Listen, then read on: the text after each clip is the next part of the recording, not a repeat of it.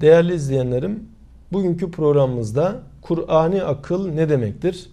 Bu soru üzerinde e, bir derece durmaya ve bazı açıklamalarda bulunmaya çalışacağız. İnsanda akıl var. Akıl düşünme aletidir. Nasıl ki bıçakla biz kesiyoruz, bıçak kesme aletidir. Akıl da düşünme, anlama aletidir. Ama akıl acaba tek başına anlamak için yeterli midir? Aklımız bize her konuda yeter mi? Akıl elbette çok güzel bir nimet. Ee, ama akıl tek başına yeterli değil. Bunu şöyle bir örnekle ifade etmeye çalışayım. Mesela insanda göz var. Dışarıda görülecek eşya var. Ama görüntünün meydana gelebilmesi için, görme olayının gerçekleşmesi için ışığa da ihtiyaç var. Göz var, eşya var ama ışık olmazsa karanlıkta bir şey göremiyoruz. İşte aklın da e, belli bir ışığa ihtiyacı var. Buna da vahiy güneşi diyebiliriz. Yani insan aklının daha sıhhatli, daha selametli çalışması için vahiy güneşine ihtiyacı vardır. Eğer biz meselelere vahiy güneşinin ışığında bakacak olursak aklımız problemlerin içinden çok daha rahat sıyrılabilir. Ve şu varlık alemini ve şu varlık aleminde meydana gelen olayları o zaman daha rahat, daha güzel bir şekilde değerlendirebiliriz. Bazı meseleler var aklımızı aşıyor. Mesela yaratılış nasıl oldu?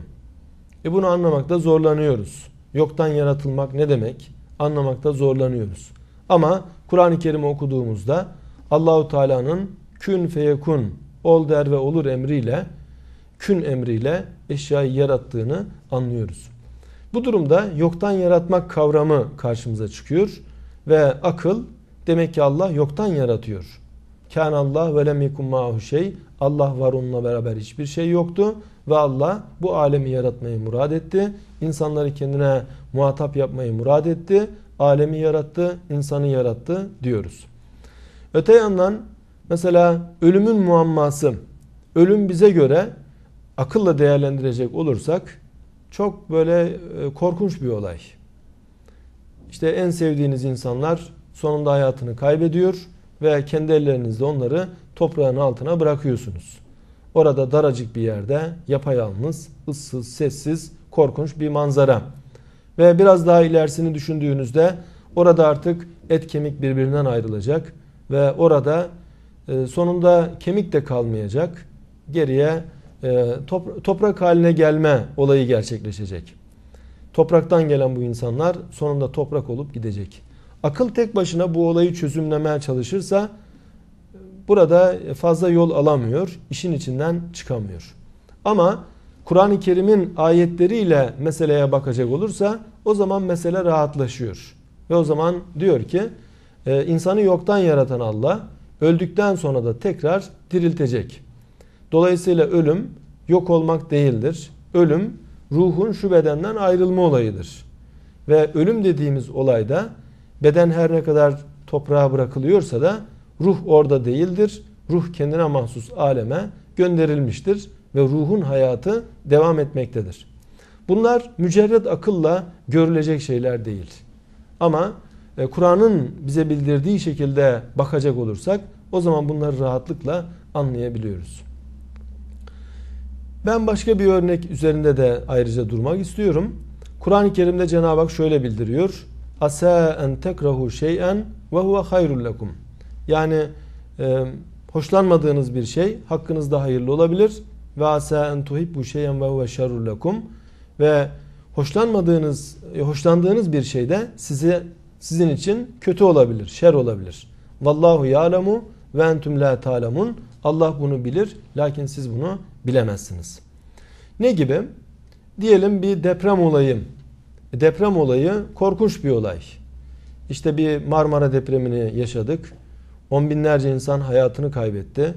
Belki yüz binlerce ev oturulmaz hale geldi. Ve nice servet kaybolup gitti. Nice canlar e, kaybolup gitti. Nice insan e, sakat kaldı.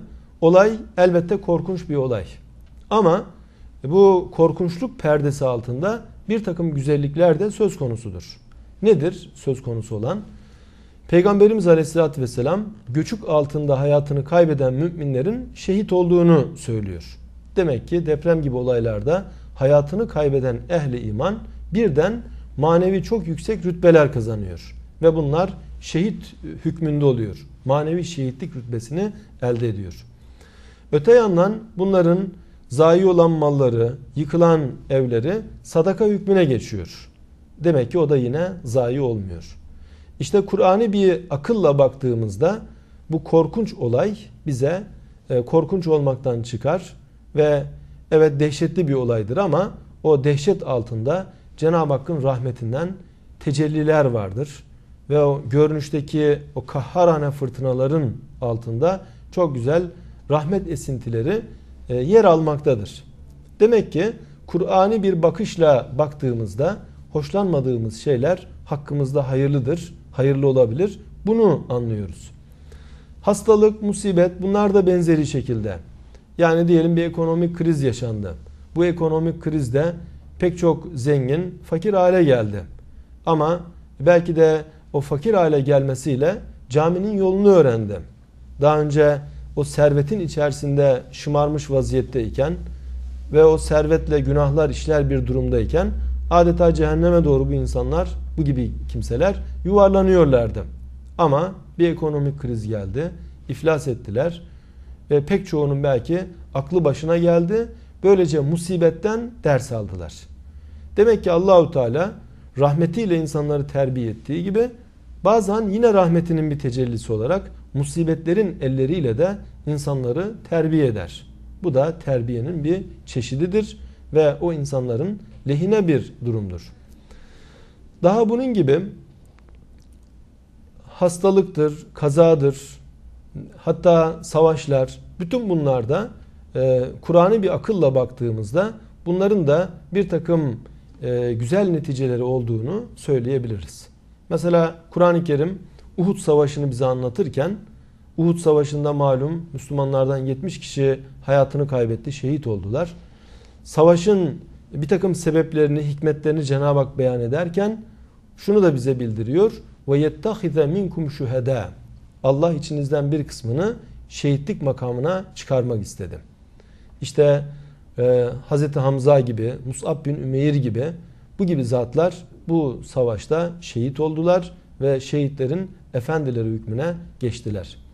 Evet görünüşte bu da çok acı bir olaydır ama e, şehitlik gibi yüksek bir makamı elde etmek de elbette o bir ayrıcalıktır. Cenab-ı Hakk'ın lütfu, rahmeti bu şekilde kendini göstermiştir. Bunları toparlayacak olursak karşımıza çıkan manzara şudur. Evet akıl çok güzel bir nimet ama akıl tek başına yeterli değil. Bazen şu medarı bahs oluyor. İnsan dine mi tabi olmalı, akla mı tabi olmalı?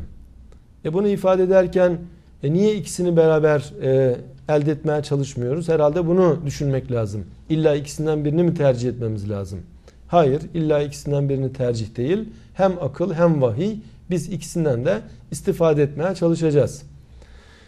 Kur'an okuyacağız. Kur'an'ın manalarını öğreneceğiz. Orada öğrendiğimiz ölçüler çerçevesinde aklımızı da kullanacağız.